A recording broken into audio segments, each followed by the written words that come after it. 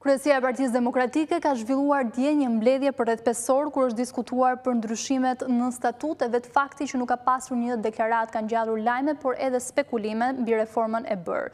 Për këto do zhvilloj një bisedë me sekretarin ligjor në Partinë Demokratike, Zotin Indrit Sefa, përshëndetje, Zoti Sefa. Përshëndetje, kënaqësi t'jem në studion tuaj. Gjithashtu. Atëherë cilat janë këto ndryshime për cilat po diskutohet? Ka ndryshime të ndryshme, të cilat do ta modernizojnë Partinë Demokratike, do ta përshtasin atë me nevojat që ka organizimi i saj dhe mënyrat e reja se si Partia Demokratike e sheh përqasjen dhe përçimin e programit të saj te anëtarësia dhe te demokratët dhe te shqiptarët. do ketë një mënyrë të re të konceptimit të funksioneve dhe të organeve të Partisë Demokratike, duke i dhënë më shumë duke vendosur në qendër të të, të saj anëtarin dhe individin. Më konkretisht mund të kemi Më konkretisht do po. pasqyrohet drafti përfundimtar, mhm. i cili është miratuar dje dhe do publikohet në në rrugë zyrtare nga ana Partisë Demokratike. Ka ndryshime në disa dispozita. Kryesisht është bërë decentralizimi komplet i i Partisë Demokratike, duke i dhënë shumë fuqi fuqi degëve dhe mënyrës zgjedhjeve të anëtarëve të kryesisë degëve, si dhe mënyrës se si organizohet dega në, në, në, nga qeliza më e vogël e, e në vazhdim. Po, si erdhi ky vendim në fakt për të marrë këtë ndryshim? Ishte një punë e gjatë, ishte një nevojë që kishte disa kohë që Partia Demokratike kishte nevojë për modernizimin e saj dhe për përshtatjen e saj me realitetet e reja, gjithashtu është ngrit një grup pune i posaçëm për këto ndryshime, ku ka marrë po. opinionet më të mira dhe dhe nga vitet dhe nga vitet e mëparshme që ka pas ndryshime statutore dhe nga propozimet e mëparshme, duke harmonizuar në një produkt final që besoj që do jetë i pranuar nga të gjithë delegatët, po dhe nga anëtarët e Partisë Demokratike për të treguar dhe për të sjellë kërkesat e tyre të cilat janë administruar në mënyrë koherente në në në Partinë Demokratike nga takimet që kemi bërë në çdo qark, në nivel qarku, se besoj ju e mbani mend mirë që uh, kryetari Basha bëri takime me çdo qark në nivelet drejtuese për të marrë propozime në lidhje me kërkesat e tyre për ndryshime statutore. Uh, këto ndryshime uh, janë si rrjedhojë dhe e atyre kërkesave që kishte uh, që kishin uh, që, uh, anëtarësia dhe nivelet drejtuese të tyre në në bazë. Zoti Steva flitet se janë prekur kompetencat e sekretariatit. A është e vërtetë kjo? Edhe njëherë, si në ç'kuptim kompetencat e sekretariatit, është bërë ndarja e qartë e pushteteve në partinë demokratike, po. organet kolegjale patjetër që kanë rolin e tyre dhe është vlerësuar roli i tyre, dhe janë në është bërë organizimi që çdo organ i Partisë Demokratike të ketë kompetencë dhe të jetë i pavarur. Siç është forcuar roli i gjykatës së partisë, Komisionit të Apelimit, i cili do ketë një rol vendimtar dhe do ketë garanci statutore për të qenë i pavarur në ushtrimin e detyrave të tij, ashtu janë janë është dhënë vlerë e veçantë dhe kryesisë dhe Këshillit Kombëtar për për administrimin ose për ushtrimin e kompetencave të tyre. Partia Demokratike nuk mund të jetë më parti ku organet individuale ose organet që drejtohen nga persona specifikë të kenë një rol të theksuar vendimmarrës, por organet kolegjale do jenë ato që do kenë zërin e fundit në çdo vendimmarrje dhe Normalisht fryma e Partisë Demokratike ka qenë kjo dhe kjo është vënë në realitet. Mhm. A lidhet kjo dhe me këto ndryshime të fundit që ka ndodhur në Partinë Demokratike? nuk lidhet me asnjë gjë përveçse me kërkesat që kanë pasur degët dhe strukturat drejtuese të Partisë Demokratike në në në degë. Janë kërkesa të cilat vijnë si pasojë e mënyrës më të mirë dhe organizimit më të mirë që ata kërkojnë dhe nevojës për t'u shtrirë më mirë te qytetari dhe te anëtari. Qartë. Ka një ide për një formë ndryshe të zgjedhjes së anëtarëve të këshillit dhe çfarë ka ndryshuar në këtë pikë?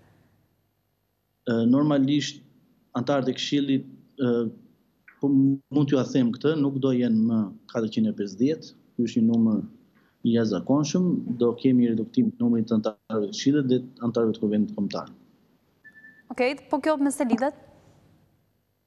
lidhet me vullnetin e Partisë Demokratike për mos pasur një kuvend kombëtar të proporcioneve të jashtëzakonshme, por duke marrë dhe duke qenë delegatë vetëm pjesa kryesore e Partisë Demokratike në mënyrë që të kemi një debat të brendshëm më cilësor, që njerëzit dhe përfaqësimi të jetë më cilësor, duke bërë të mundur që partia të të shtrihet në në në bazë në në anëtarësi, por debatet të jenë në të përqendruara cilësore, duke mos duke pasur një kuvend kombëtar dhe me numra dhe këshill kombëtar me numra të të, të jashtëzakonshëm dhe kaq të mëdhenj, mendo, kemi menduar që nuk ishin eficiente dhe nuk prodhonin një produkt cilësor për të për t'u shtrirë në në gjithë anëtarësinë dhe për të përçuar mesazhin e Partisë Demokratike te qytetarët. Mhm, por nuk është zvogluar partia demokratike. Pra këto numra nuk lidhen në raport të drejtpërdrejtë me zvogëlimin e partisë nëse do e cilësoja kështu. Nuk është zvogluar partia demokratike, sepse ka pasur një qasje në mendimin tim të gabuar. Po largimi i këtyre deputetëve ka të bëjë me një zvogëlim? Të mbaroj fjalën. Po. Edhe në statutin aktual, anëtarët e këshillit kombëtar që zgjidhen janë 150, ndërkohë që janë zgjedhur 300. Kjo ka qenë vendimmarrje atëherë e atëhershme e kryesisë të Partisë Demokratike dhe si rrjedhojë ne mendojmë që këto rregulla të përcaktohen qartësisht me me aktet statutore dhe nuk mund të kemi më numra të tillë. Gjithashtu edhe Kuvendi Kombëtar, ne duam që Kuvendi Kombëtar mos të jetë një ceremoni ose një ditë ceremoniale, po të jetë një kuvend kombëtar aktiv me njerëz që kanë rol aktiv dhe dhe vendimmarrës real në në punimet e tij. Po, punimet në fakt që do mbahen në kuvendin kombëtar, besoj do zgjasin siç kanë zgjatur edhe herën e kaluar, por do mungojnë 5000 anëtarë, do të jenë sa ç'ishin në pallatin e kongreseve?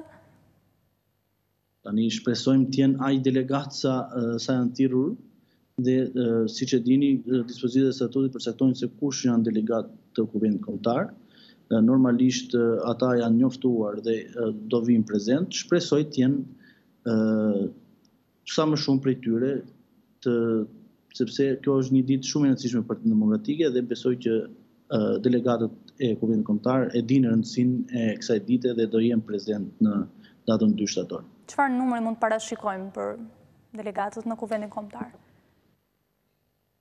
Unë nuk kam rolin e parashikuesit, po besoj që delegatët kanë marrë mesazhin e Partisë Demokratike, e vlerësojnë rëndësinë e e e e kësaj date, vlerësojnë rëndësinë që ka për Partinë Demokratike ë zhvillimi i kuvendit datës 2 shtator 2023 dhe besoj që do jenë prezent në në punimet e këtij kuvendi.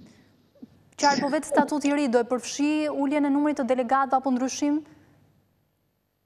Sapo jua thashë që në konfigurimin që ka statuti i ri nuk mund të ketë një kuvend kombëtar me 8000 me 8000 delegatë. Kuptoj. Ndalemi pak te aleanca qytetare për demokracinë. Çfarë është kjo aleancë? Ajo ka qenë gjithmonë në statutin e 18 dhjetorit, ju siç e dini është miratuar një dispozitë për ndryshime statutore, e cila lidhesh me aleancën qytetare për demokraci, është e njëjta dispozitë nuk ka ndryshuar, është e pasuruar edhe në statutin aktual, në statutin që do miratohet, dhe është një aleancë, është një mënyrë e re për hapjen e Partisë Demokratike te personalitete të shquara, të cilat jo domosdoshmërisht mund të jenë anëtarë të Partisë Demokratike, por që kanë vizionin, kanë filozofinë e Partisë Demokratike dhe kanë dhe dhe e shohin të ardhmen e Shqipërisë në të njëjtën formë siç e sheh Partia Demokratike. Mhm. Mbledhja në fakt e kryesisë dje nuk u pasua me një deklaratë apo me një lajm se çfarë ndodhi, nuk e di nëse mund na thoni çfarë është diskutuar, diçka më shumë Fakt flitet për sekretariatin më shumë, është diskutuar mundësia e shkarkimit të zotit Gazmend Bardhi?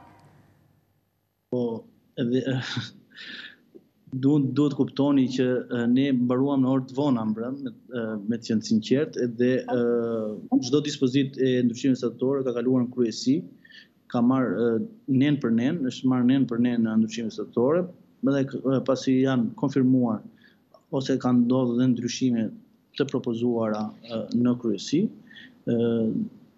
prandaj kjo ka hëngër dhe kohën më të gjatë me thënë të drejtën sepse anëtarët e kryesisë kishin nevojë për të diskutuar dhe për të sqaruar gjithë pretendimet e tyre. Dhe në bazë të, të rregullave statutore, çdo dispozitë e statutit u votua nga ana e kryesisë dhe si rrjedhojë besojmë që Kuvendit Kombëtar Kryesia e Partisë Demokratike do t'i propozojë draftin përfundimtar të të miratuar në kryesinë e Partisë Demokratike. Pra ishte pjesë e diskutimeve kjo pikë shkarkimi i sekretarit? Jo, në asnjë moment. E qartë. Ndërkohë më 4 shtator do nisë dhe sesioni i ri parlamentar. A mund të presim një bashkim të opozitës, kemi një parti demokratike më vete dhe një parti të lirisë që qeveris më vete, si do vijohet me sesionin e ri parlamentar? Sesioni i ri parlamentar do vijojë që ka përfunduar i vjetri, partia demokratike do ketë grupin e saj, ka grupin e saj parlamentar, do drejtojë dhe do organizojë të gjithë aksionin politik të saj në frymën e Partisë Demokratike, duke u përqendruar te aksioni i përcaktuar nga vendimmarrjet politike të Partisë Demokratike, e cilat janë të vendosura qartë tani më, kemi dhe një vendim kryesie për ngritjen e dy komisioneve hetimore, mhm. që është komisioni për fondet e AZHBR-së dhe IPARD 2 dhe IPARD 3, kemi dhe ringritjen e komisionit hetimor për investime strategjike që Partia Demokratike Në, në bazë dhe vendimit të kryesisë, do t'i ngrejë dhe do kërkojë ngritjen e tyre në Parlamentin e Republikës Shqipërisë. Politika e Partisë Demokratike dhe aksioni i saj është i qartë, është një luftë frontale ndaj gjithë fenomeneve të korrupsionit që ka që mbizotërojnë qeverisjen e majtë dhe qeverisjen e Partisë Socialiste, të cilat e i kanë zënë frymën qytetarëve, i kanë zënë frymën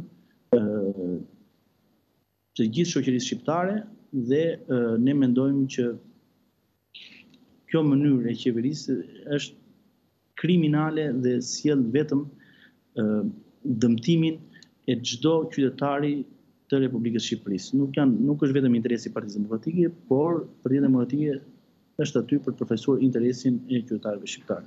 Si si të majtë, si të djathtë, si të qendrës, si të paparti, sepse në fund të ditës ky është dhe misioni i Partisë Demokratike. Por sa të lehtë apo të vështirë e ka ta bëjë këtë Partia Demokratike kur dita ditës shohim që përveç se ka pasur përçarje që kanë zgjatur shumë në fakt në kohë, është përjashtuar dhe një mundësi e bashkimit mes të djathtës për të mos etiketuar fare Parti Demokratike, ndërkohë që pra qeverisja vazhdon mbetet e njëjtë, zoti Rama kalon nga një mandat në një tjetër. Ky është një diskutim më i gjerë se të gjitha zhvillimet që po ndodhin aktualisht në Partinë Demokratike, por unë mendoj që në qoftë se ne kemi si prioritar interesin e qytetarëve, besoj që nuk ka asnjë gjë që pengon bashkimin në ide, në vizion të çdo të djathti, të çdo opozitari. Nuk është çështje bashkimi mekanik, e kam thënë shpesh, është një çështje për bashkimin e ideve dhe mentalitetit. Duam të mbrojmë interesin e qytetarëve, jemi të gjithë në në një qëndrim dhe jemi të gjithë në mënyrë për të mbrojtur dhe sipas vizionit që ka e djathta dhe Partia Demokratike. Në rast se ka pastaj interesa të cilat ditën dalin në televizor dhe dhe, dhe shajnë dhe natën bëjnë kulla, pastaj kjo nuk mund të jetë në interes të qytetarëve. Zoti Sefa, dhe Zoti Basha ka pasur në fakt disa propozime që lidhen me reformën zgjedhore, vetingun në politikë dhe kufizimin e mandatit të kryeministrit. Fillimisht, përse këto ndryshime dhe a mund të arrihen pa mbështetjen e partisë socialiste dhe pjesën tjetër të opozitës? Siç e dini, dekriminalizimi kishte pengesën më të madhe nga Partia Socialiste për një kohë të gjatë, por rezultati tregoi që Partia Demokratike arriti objektivin e saj dhe miratoi ligjin për dekriminalizimin. Mhm. Në të njëjtën formë dhe në të njëjtën format ne do të veprojmë edhe me ndryshimet e Kodit Zgjedhor, të cilat janë të domosdoshme për të garantuar cilësi të zgjedhjeve dhe dhënë mundësi qytetarëve për të zgjedhur kandidatët që ata mendojnë që janë më të mirë për t'i përfaqësuar në Kuvendin e Republikës së Shqipërisë. Patjetër që Partia Socialiste ka numrat, por presioni i shoqërisë, presioni i Partisë Demokratike, presioni i gjithë flukseve opozitare, të jeni të bindur që e detyron Partinë Socialiste që të pranojë propozimet e e Partisë Demokratike. E qartë. Mirë, edhe sa i përket një pyetje të fundit për kuvendin kombëtar, çfarë pritet të ndodhë pas këtij kuvendi, sepse gjithmonë kemi premtime përpara ngjarjeve të tilla, do ketë, pra siç thoni dhe ju, një parti ndoshta më të hapur, çfarë pritet konkretisht pas këtij kuvendi, çfarë do ndodhë? Pas këtij kuvendi, Partia Demokratike fillon fushatën elektorale, siç ka thënë dhe kryetari Basha, Partia Demokratike do jetë në fushatë elektorale. A nuk është vonë për të nisur fushatën elektorale, sepse zgjedhjet përfunduan? Fushatën elektorale për zgjedhjet e përgjithshme zonjë. Të vitit 2025. Po. Për zgjedhjet e përgjithshme parlamentare, që mhm. normalisht zhvillohen në vitin 2025, po them që Partia Demokratike do të fillojë fushatën e saj në datën 2 shtator, duke përcaktuar duke u shtrirë në terren, në bazë dhe çdo ditë që nga data 2 shtator, në vijim do të jetë Një ditë angazhimi për gjithë funksionarët e Partisë Demokratike, të cilët duhet të jenë pranë qytetarëve për të dëgjuar dhe për të përçuar programin dhe mesazhin e Partisë Demokratike. Po them që Partia Demokratike fillon fushatën e saj elektorale, po them në datën 3 shtator, mbas ditës, mbas punimeve të kuvendit. Për ne nuk ka asnjë ditë për të humbur, për ne çdo ditë është një ditë e rëndësishme për të përçuar mesazhin e Partisë Demokratike dhe programin e saj. E qartë. Zoti Sefa, faleminderit shumë për bisedën dhe për kohën tuaj. Faleminderit, kënaqësia ishte e imja.